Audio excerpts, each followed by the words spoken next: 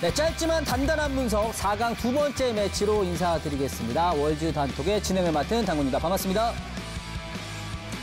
네, 오늘 젠지와 DRX의 대결을 앞두고 분석의 대가 빛돌님 나와주셨습니다. 네, 안녕하세요. 빅토르 한승입니다. 반갑습니다. 네, 반갑습니다. 아, 그리고 반가운 얼굴이죠. 제너럴 엄 총사령관 엄티 선수 나와주셨습니다. 네, 안녕하세요. 프레딧 브리온의 엄티 엄성현입니다. 반갑습니다. 아, 반갑습니다. 아, 우리 또 귀한 또 두 분을 모셨는데 오늘의 두 분의 케미 한번 기대해 보도록 하겠고 자 드디어 두 팀의 대결이 코앞으로 다가왔습니다. 담원기아를 꺾고 올라온 젠지 그리고 EDG를 꺾고 올라온 DRX의 LCK 내전이 월즈 4강에서 성사가 됐습니다. 어쩔 수 없긴 한데, 아, 왜 여기서 만나냐. 이런 느낌을 지울 수는 없는 것 같아요. LCK 팬 입장에서. 어쨌든 뭐 4강에서 그래도 두 팀이 만났다는 건 그만큼 LCK가 많이 올라왔다는 또 뜻이기 때문에 그럼요. 이 두 팀 간에 또 재미난 스토리가 있습니다. 먼저 20 DRX의 만남이 성사가 됐는데 도란과 초비 그리고 표식과 데프트가 각각 팀에 있는데 한 팀이었죠? 그렇죠. 그러니까 사실 T1의 캐리어까지 생각을 하면 20 DRX 다섯 명이 4강 에 다 있는 9 DRX 20 팬분들은 굉장히 좀 재밌게 어떻게 보면은 예, 그렇게 보실 것 같아요. 예, 그리고 또 월즈 우승자가 각각 한 명씩 있는데 젠지에는 룰러 선수가 그리고 DRX에는 베릴 선수가 각각 월즈에서 우승 1회 기록 그리고 준우승 1회 기록들이 있어요. 그리고 베릴 선수가 만약 올라가게 되면 3년 연속 결승 진출. 진짜 대박. 어, 엄청난 기록이죠. 네. 그동안의 지표로만 본다면 젠지의 좀 우세함이 점쳐지는 게 사실인데 올해 2022년도에 LCK 내 성적을 보면 압도적입니다.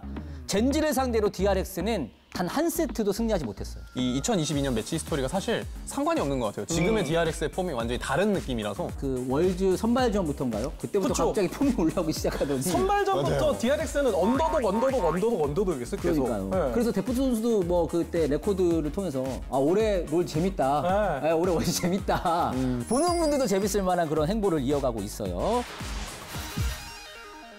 명승부의 향연이었습니다. 지난 8강전 활약상을 되짚어보지 않을 수 없겠는데 먼저 젠지와 담원기아의 대결을 분석가분들이 한번 짚어주신다면 아무래도 이제 젠지 다몬기아전 같은 경우에는 캐년 중심의 다몬기아와 그거를 막고 결국에는 후반에까지 뒤집는 젠지의 저력의 느낌 그리고 그 중심에 이제 뭐 유미라든지 어떤 케인 관련된 뱀픽 싸움이 이제 흥미로웠던 느낌 담원이 그런 생각을 가졌던 것 같아요. 아 우리가 젠지 상대로 이기려면은 우리가 초반에 뭔가 휘둘러야 된다. 아. 그러니까 뱀픽 준비 자체도 모두 초반에 휘둘 리기 위해 준비를 했었고 그 와중에 이제 찾았던 pick이 케인이었던 것 같아요. 결국에는 사실 1, 2세트만 보면은 이거 무난하게 또 젠지가 음. 승리하는 게 아닌가 싶었는데 3, 4세트 때 갑자기 또 3세트는 또 쇼메이커 선수가 아 엄청난 playmaking을 보여주기도 하고 네. 그리고 또 4세트에서는 캐년의 비에고와 함께 덕담의 앞에까지 날뛰면서 결국에는 이제 5세트 네. 분명히 5세트가 가서 정말 뭐 힘겨운 승리 끝에 젠지가 진짜 쉽지 않았어요 아 진짜 쉽지 않았고 네. 이게 LCK다. 네. 아 이거 역시 LCK 수준은 대단하다. 이런 걸 느낄 수 있었던 양 팀의 승부였던 것 같아요. 네, 정말 박수를 다 같이 보내주지 않을까 이런 생각이 드는 경기였습니다 자 그리고 이어서 또 다른 명승부였습니다. 아 수많은 팬분들이 울었습니다. 저도 막 보면서 그 생각했거든요. 하면서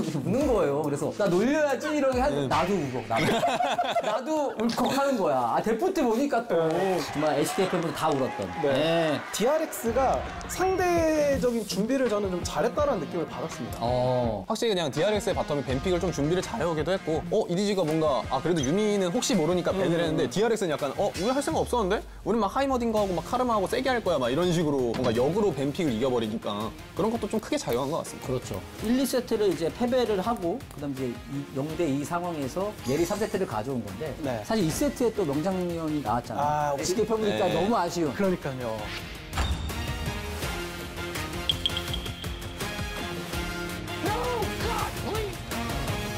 근데 사실 그 텔레포트에서 좀 범인이 있다고 생각합니다 저는. 아! 네 아니, 성훈이가 킹갱이가 이 얘기할 줄 알았어 좋은 날에 왜 그래? 또 굳이 범인을 갑자기. 보이는 아 아닙니다. 아, 이겼으니, 아, 이겼으니까 근데 말하는 거잖아요. 이겼으니까. 아, 말해주세요, 말해주세요. 아니 저, 무- 킹갱이가. 아니, 저 어. 물론 친하고 바- 카톡으로도 또 축하해 줬어요. 아니 또 따끔하게 한마디 해주세요. 아니 따끔하게 말하면 굳이 왜 상대가 다 보고 있는 데서 테를 타고 앉았니? 이게 워낙 또 긴박한 상황이고 맞아요. 급하다 보면 자기도 모르게 이게 어떻게 그 순간에 판단이 쉽지 않. 그래도 좀 잘 탔어야 되지 네. 않나 에, 네, 그렇긴 해요. 하지, 네, 하지 만 덕분에 네, 뭐. 더 꽉꽉 채워서 저희가 꿀잼을 봤다. 이 경기 때 또 제카 선수를 얘기 안 할 수가 없어요. 아, 갑자기 막 솔로키를 엄청나게 따내면서 어, 저도 뭔가 싶었어요. 약간 이 정도는 아니었는데. 근데 확실히 DRX의 그 승리를 거의 견인하고 있다고 봐도 무방할 정도로 그 게임을 거의 뒤집고 있죠, 근데. 그러니까요. 자, 아, 그래서 양 팀의 또 이 8강전 경기를 저희가 함께 이야기를 해봤는데 젠지와 DRX의 또 핵심 포지션 한번 비교해 보겠습니다. mid를 언급 안 할 수가 없어요. 초비와 제카 이 둘이 만났습니다. 지표에서 역시나 제일 눈에 띄는 거는 solo kill이 9회. 1회인데 그 중에서 8번이 상대 mid laner kill. 그리고 그 중에서 4번이 스카웃을 한 경기 안에서 했다. 그 대단한 스카우트 선수도 한 번 하고 나니까 여기서 메꿔야 된다는 생각에 그쵸. 더 무리를 하니까 그걸 또 응징해주는 모습이 아니 월드 챔피언이 그렇게 어떻게 보면 좀 심정적으로 구석에 몰릴 정도였다. 이거는 그만큼 제카 퍼포먼스가 대단했던 것 같습니다. 그래서 이 둘의 대결 정말 뭐 기대가 됩니다. 어떻게 아무래도 초비가 좀 잘하기도 하고 그렇긴 한데 제카가 확실히 사일러스랑 아칼리 잡았을 때는 좀 폼이 남다르더라고요. 근데 이 두 개 잘리면 어떻게 될지 좀 궁금해요. 사실 초비 선수가 지표 대비 어 약간 아쉬운데 이런 생각이 들 수 있을 텐데 결국 젠지가 초비 의존도가 높은 팀이 아니잖아요. 그러니까 강한 거고. 맞아요. 어떻게 보면 월드에서 퍼포먼스만 놓고 보면은 제카가 좀 더 잘하지 않았나라고 생각이 들다가도 그래도 초비인데라는 생각으로 마무리될 수밖에 없는 것 같아요. 그렇죠. 아무래도 그리고 DRX가 좀 제카 선수가 solo kill로 좀 뭔가 게임 분위기를 환기시키는 맞아요. 약간 그런 게 많이 나왔잖아요. 근데 초비 선수가 사실 그렇게 솔킬을 많이 주는 선수냐 하면 어, 절대로 거의, 아니거든요. 네, 맞아요. 그러니까 약간 오히려 에이스를 견제해주는 느낌이 너무 약간 안티 카운터 느낌이 너무 잘 나올 것 같아서 사실 잘 모르겠습니다. 그렇습니다. 누가 봐도 모를 경기예요. 네. 자, 그러면은 또 원딜 이야기를 안 할 수가 없습니다. 네. LCK를 대표하는 근본 원딜의 대결입니다. 룰러와 데프트, 데프트와 룰러의 대결이에요. 라인전에서 CS 차이, 골드 차이 이런 부분은 데프트 쪽이 오히려 좀 더 높게 측정된 부분이 있거든요. 이거는 이제 명백히 라인전을 치중한 pick들을 서포터에서도 아예 맞춰서 이 DRX가 그렇죠. 많이 활용했었던 거였고 전체적으로 룰러 선수 같은 경우에는 저희가 흔히 말하는 이제 룰러 엔딩까지 이어지는 특히 이제 듀오 kill 라인에서 그냥 단순 압박을 하는 게 아니라 실질적인 kill을 만들어내는 성과를 게, 내죠. 네, 굉장히 좀 대단했었던 것 같고 역시나 또 그 중심에 이제 루나미가 일단 좀 떠오르는 것 같아요. 루나미를 이용한 플레이들이 너무 잘했다 보니까 그거를 어떻게 데프트 선수가 막느냐가 중요한 것 같아요. 만약에 하이머딩거가 없다 치면은 DRX bottom이 어떤 걸 준비해와서 룰러를 막을 것이냐. 약간 이런 게 좀 재밌을 것 같습니다. 자, 이렇게 해서 저희가 뭐 핵심 그런 라인들을 좀 살펴봤는데 이제 뭐 가장 중요한 시간입니다. 누가 그래서 이길 것 같나요? 승부 예측 시간인데 결과를 먼저 말할까요? 아니면 편한 대로 해주시기 바라겠습니다. 일단 저는 저희가 이제 이거를 녹화를 사실 사전에 하는 거잖아요. 매치가 순서 자체는 진동표원이 먼저 그런 생각이 들지만 저는 뭐 이렇게 썰이 약해.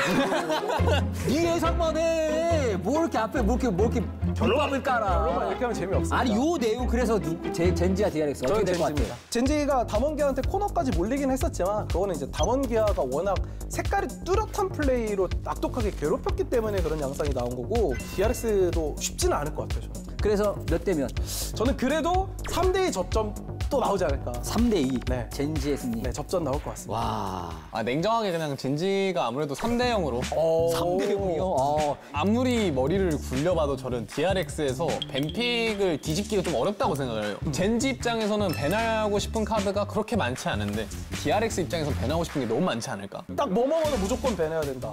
저는 일단 유미는 무조건 밴해야 된다고 생각하고 아무래도 사일러스 자체를 이거를 ban해야 돼, 먼저 먹어야 돼라는 생각도 많이 날 것 같아요. 젠지 입장에서 솔직히 일단 베릴 선수의 라인전 강한 pick들을 견제를 하면은 그렇게 걸릴 게 없다고 생각하거든요. 저는 ban pick적으로 너무 까다로운 것 같아요. 플레이보다도. 당구님. 어쨌든 뭐 누가 이기든 멋진 경기 기대하도록 하겠습니다. 알죠. 아저씨는요? 저는 과감하게 DRX 갑니다. DRX. 네. 스코어는 3대 2. 3대2 네, DRX. 저는 이 춤을 더 보고 싶습니다. 아, 라스트 댄스가 되어서는 안 된다. 아, 도란 선수는 그만 보고 싶으시고. 아니요, 뭐 나쁘지 않죠. 그 이제 젠지도 잘하지만 둘다 아끼죠. 누군가 승리해야 아, 된다. 그럼요. LCK 팬분들 입장에서는 누가 승리를 하든 누가 패배를 하든 또 박수 보내주시면서 또 결승에 대한 기대감을 높여주시면 좋겠습니다. 마지막 남은 결승 한 자리의 자리는 누가 차지하게 될지 끝까지 함께해 주실 바라면서 저희 뭐 젠지와 DRX 모두 파이팅 외치면서 한번 아? 오, 좋죠. 젠지 화이팅! DRX 화이팅! 화이팅! SK 파이팅! 감사합니다.